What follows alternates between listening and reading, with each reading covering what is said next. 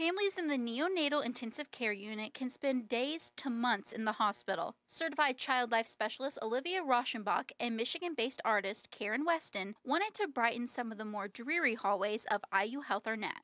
We've had patients and um, families here for over 100 days sometimes, and walking through that space, um, you know, just the same beige um, hospital look sometimes just isn't um, always the best thing to see. So having some color can be nice. The mural isn't just a painting on a wall, it is a promise to all families that pass by. We chose the elephant because regardless of if that um, baby who graduates the NICU or if we have a baby who unfortunately dies, we will always remember them. Another goal of the mural is to make the space feel more like home, especially this time of year when illnesses such as RSV are more prevalent. We have RSV restrictions. Family can't come visit and meet the baby. Siblings can't come visit and meet the baby during RSV season.